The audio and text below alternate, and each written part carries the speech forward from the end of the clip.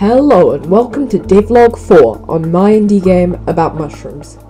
I've been hard at work since the last devlog and I've made some exciting progress that I can't wait to share with you all. So, one of the problems I had in previous devlogs is I spent too much time working on art and not enough time working on the features. So, this episode I'm going to change that. That means all of the features we're making today are going to be using placeholder graphics. So before you go into the comment section telling me how bad these features look, just remember, they're all temporary. Starting off, we now have a main menu. Only two of the buttons work though, that's the quit and resume buttons. We will address the other buttons in the future devlog. Next up is something I've been putting off for a while, and that is NPCs. The reason I've been putting this off is because it's hard to know where to start.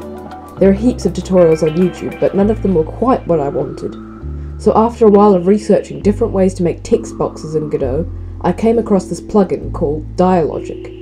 And let me tell you, this plugin was a lifesaver. It had all of the features that I needed, from different text colours to custom character expressions, to even branching dialogue paths.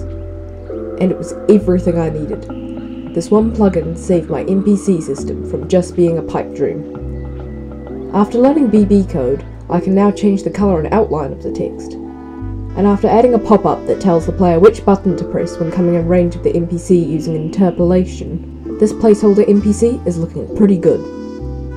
Next on my list of things to do is wall jumping. I attempted this in the first devlog, but I was unable to get it working. But with my improved knowledge of GDScript since the first devlog, I was able to make it work well. You may be thinking, how hard can it be to add wall jumping? You just check if the player is touching a wall, then you make him jump. Easy, right?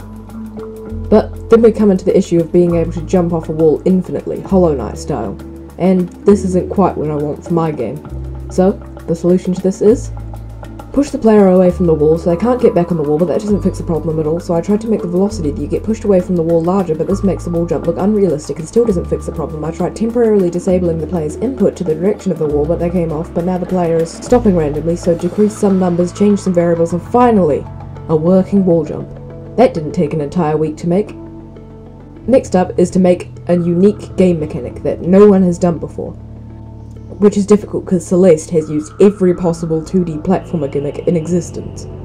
But I eventually came up with grabbable handholds. That by pressing a button you grab onto, and by letting go of the button, it gives you an upwards boost of momentum. As far as I know, this is a unique game mechanic, but if any of you know any other game that does this, please let me know. But, after messing with the code a bit, we now have spinning handholds as well. And now the game actually feels somewhat fun. But, that'll be all for this devlog. Remember to like and subscribe so you never miss one of my future episodes. And as always, thanks for watching, and I'll see you all in the next video.